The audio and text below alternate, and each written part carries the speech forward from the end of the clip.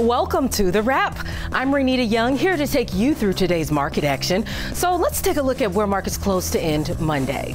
The S&P 500 closed down 9 tenths of a percent. The Dow was the only major index to end higher, up nearly three quarters of a percent. The Nasdaq 100 ended a little over half a percent lower, and the Russell 2000 closed down 1.1 percent. Now, taking a look at the leading and lagging sectors. For the leaders, we only have healthcare and materials, laggards, real estate, and consumer discretionary. Now let's take a look at the best and worst performing stocks in today's trading session. For the winners, Etsy, CF Industries, Penn Entertainment, Moderna, and Netflix. And the losers were Hasbro, Bath and Body Works, Synchrony Financial, SVB Financial, and Dominion Energy.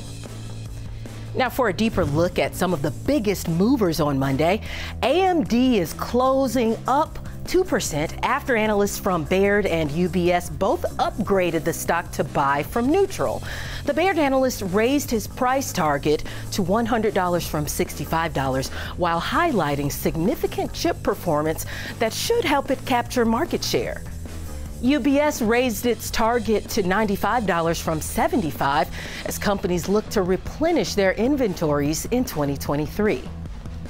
Hasbro was the worst performing stock in the S&P 500 today, falling 10% after Bank of America Securities double downgraded the stock to underperform from buy and lowered its price target to $42 from 73. The analyst said that Hasbro has been overproducing its Magic the Gathering game cards and destroying the long term value of the brand. AMC shares are rallying 2% after Black Panther Wakanda Forever brought in $180 million in its opening weekend at the box office. The theater chain said the movie helped it see its fourth busiest weekend in history. It's the second best opening for a movie this year after Doctor Strange. Now, turning our focus to tomorrow, investors will be watching the producer price index. Wall Street is expecting a month over month rise of 0.4% and 0.3% in the core, and an 8.3% increase year over year in PPI, while looking for a 7.2% year over year increase in the core number.